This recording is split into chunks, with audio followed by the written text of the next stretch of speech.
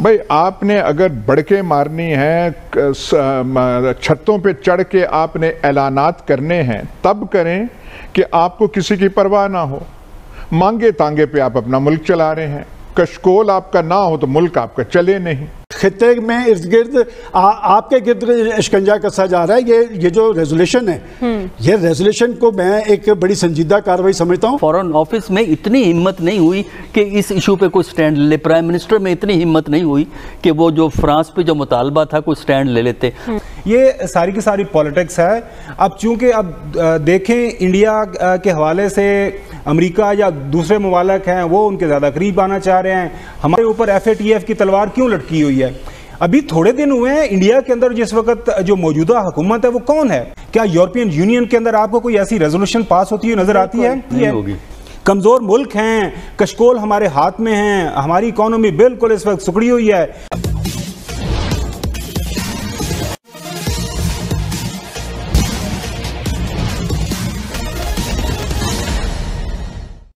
European union ने अभी पाकिस्तान पर बहुत प्रकार के प्रतिबंध लगाए हैं, पर पाकिस्तानी मीडिया इशारों इशारों में भारत पर भी उंगली उठा रही है।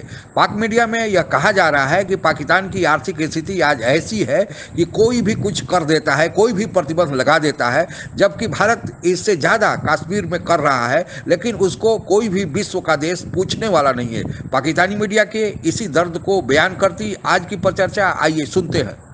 यूरोपीय पार्लियामान में भारी अक्सरियत से मंजूर की जाने वाली एक करारदाद में यूरोपीय कमीशन से ये मुतालबा किया गया है कि वो सन 2014 में पाकिस्तान को जीएसपी प्लस के तहत जो तजारती रियायात दी थी, उस पर नजरसानी करे। इसके अलावा करारदाद में ये भी कहा गया कि घर की सफ़ाई न की गई तो पाकिस्तान को सिफारती और मुआशी मसाइल भुगतना पड़ सकते हैं। इन्हीं खदशात का इजहार तो वजी अजम इमरान खान भी कर रहे थे। वज़ीर अजम साहब क्या कर रहे हैं और उन्होंने किया क्या है?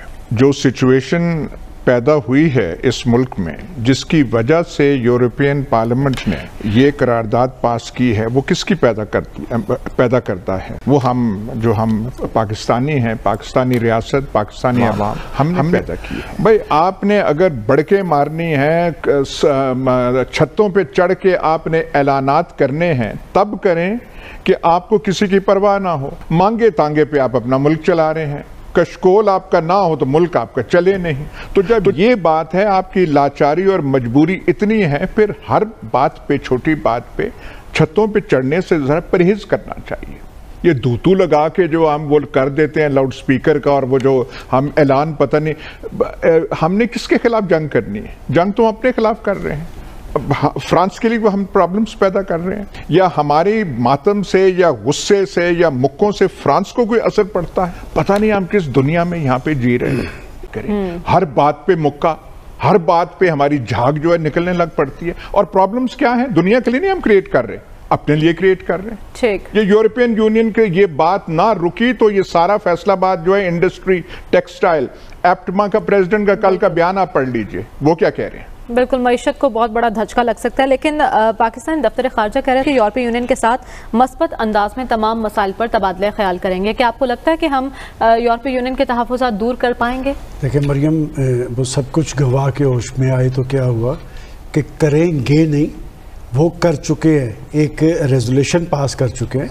और पाकिस्तान पे वो प्रेशर डाल रहे हैं आप इस रेजोल्यूशन की टाइमिंग देखें क्या खत्े में इर्द गिर्द आपके गिर्द शिकंजा कसा जा रहा है ये ये जो रेजोल्यूशन है ये रेजोल्यूशन को मैं एक बड़ी संजीदा कार्रवाई समझता हूँ और ये तहजीबों की जंग है अच्छा। कि। वो अपनी तहजीब के साथ खड़े हैं और। वो उसे आलमगीर तहजीब बनाने की कोशिश कर रहे हैं मैं समझता हूँ कि इस तरह के इशूज़ पे दुनिया को कोई मैसेज आना होता है तो ये प्राइम मिनिस्टर साहब का बयान काफ़ी नहीं होता कि वो इस्लामी फोबिया के वो जिस हाल में इस्लाम की बात कर रहे हैं वो आलम इस्लाम तो अपने साथ नहीं खड़ा। वो हमारे इन इश्यूज़ पे क्या खड़ा होगा? कहाँ गया वो कश्मीर और कहाँ गया वो फलस्तीन? वो तो खुद सारा सुलह करके बैठे हुए हैं।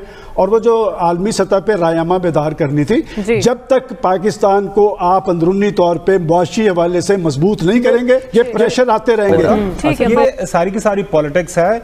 अब चूँकि अब देखें इंडिया के हवाले से अमेरिका या दूसरे ममालक हैं वो उनके ज़्यादा करीब आना चाह रहे हैं। हमारे ऊपर एफ़ की तलवार क्यों लटकी हुई है। अभी थोड़े दिन हुए हैं इंडिया के अंदर जिस वक्त जो मौजूदा हुकूमत है वो कौन है? क्या यूरोपियन यूनियन के अंदर आपको कोई ऐसी रेजोल्यूशन पास होती हुई नज़र आती है? क्या कांग्रेस के अंदर या किसी बड़े हाउस के अंदर ऐसी बात आपको नज़र आती है? उसकी वजह यह है कि हम जो अयाज साहब ने बात की बिल्कुल ठीक है। कमज़ोर मुल्क हैं कशकोल हमारे हाथ में हैं हमारी इकोनॉमी बिल्कुल इस वक्त सुखड़ी हुई है। अगर दुनिया को हम एक्सपोर्ट कर रहे होते हैं पूरी दुनिया को के लिए हमारी मार्केट खुली होती हम दुनिया की बड़ी मार्केट होते तो फिर कोई हमें इस तरह का जो सबक ना सुनाता कि हम इनका ये बंद कर देंगे हम इनका वो बंद कर, कर देंगे वही मैं बता रहा हूँ क्या आपको इंडिया के हवाले से ऐसी बात आती है? क्या दूसरे और जो ममालक है वहाँ पर इस तरह के जो जिस तरह फ्रांस के हवाले से कोई इस तरह की आपको बात सामने नज़र आई किसी जगह से? बिल्कुल नहीं आई।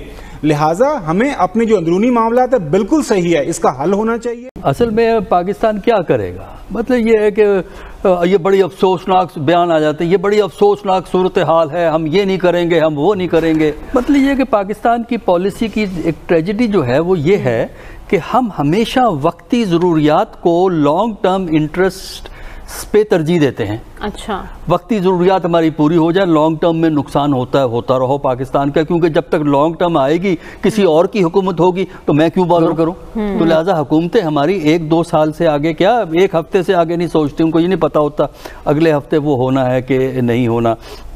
अब इसके अंदर इस मामले में ये जो हमारा रवैया है ना कि फ्रांस को वार्निंग दे दो अगर फ्रांस ने अपना बिहेवियर चेंज न किया हम पाकिस्तान में लोगों की ज़िंदगी गुजारना मुश्किल कर देंगे। मतलब उससे फ्रांस को क्या फ़र्क पड़ता क्या फ़र्क पड़ेगा? आप प, सारे पाकिस्तान में आग लगा दीजिए फ्रांस को क्या फ़र्क पड़ता है? देखिए इसमें जो सोचने वाली बात है कि क्या वजह है कि जो आपका पॉइंट ऑफ़ व्यू है वो अप्रिशिएट नहीं हो रहा वो कम्युनिकेट नहीं हो रहा। सिर्फ़ इस पे नहीं कश्मीर पे देख लीजिए। हम कहते हैं हमारा प्रिंसिपल स्टैंड है कि हम यूनाइटेड नेशन के रेजोल्यूशन के मुताबिक कश्मीर को हल कराना चाहते हैं। बहुत अच्छा स्टैंड है। पाकिस्तान में वाह वाह होती है। लेकिन सपोर्ट क्यों नहीं है आपको? देखें ना इस पर गौर करें। और ये इस गवर्नमेंट की ट्रेजिडी नहीं है हर हुकूमत की ट्रेजिडी है कि वो बातें करते हैं। लेकिन आपको ये गौर करना है कि क्या वजह है कि आप अपना पॉइंट ऑफ़ व्यू कम्युनिकेट नहीं कर सकते? उसकी एक वजह तो यह है कि आपकी अपनी हुकूमत की कम अंदाज है काम करने का वो इसकी ज़िम्मेदारी है।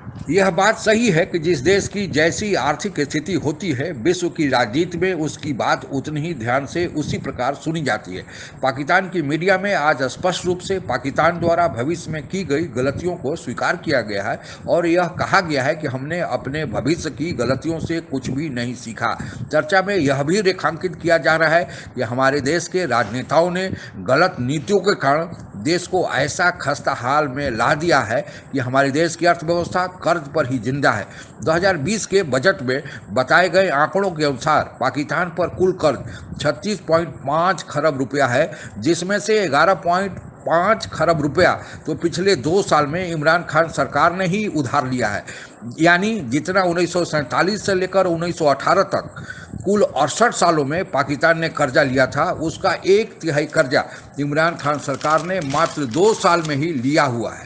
आपको यह भी बताते चलें कि इन कर्जों पर मूल और सूद की अदायगी में प्रति वर्ष पाकिस्तान को 600 अरब रुपया खर्च करने पड़ते हैं। इस कारण इस अदायगी के बाद सूद और मूल की पाकिस्तान को विकास के लिए और अपने सेना के आधुनिकरण करने के लिए कुछ भी पैसा नहीं बचता है।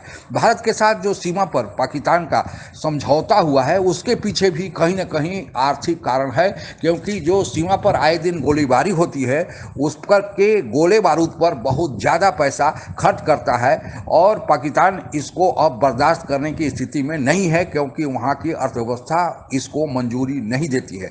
वैसे तो पाकिस्तान के विरुद्ध कोई भी अगर घटना होती है तो उसमें कहीं ना कहीं पाकिस्तान भारत का हाथ ढूंढ लेता है, और इस यूरोपियन यूनियन ने जो पाकिस्तान पर प्रतिबंध लगाया है, उसको लिए भी, भारत को भी कहीं ना कहीं से जिम्मेवार माना जा रहा है। यही कहा जा रहा है चर्चा में कि भारत तो इतना कुछ कश्मीर में कर रहा है, लेकिन भारत को विश्व में बोलने वाला कोई नहीं, लेकिन पाकिस्तान की एक छोटी सी घटना के लिए प्रतिबंध यूरोपियन यूनियन ने लगा दिया।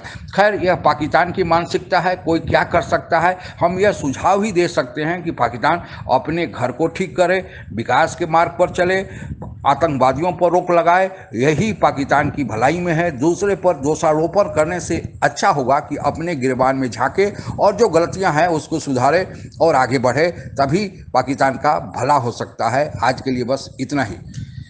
आप अगर हमसे जुड़ा रहना चाहते हैं तो कृपया मेरे चैनल को सब्सक्राइब करें तथा बेल आइकन भी दबा दें ताकि नई वीडियो की जानकारी तुरंत आप तक पहुँच जाए। धन्यवाद। जय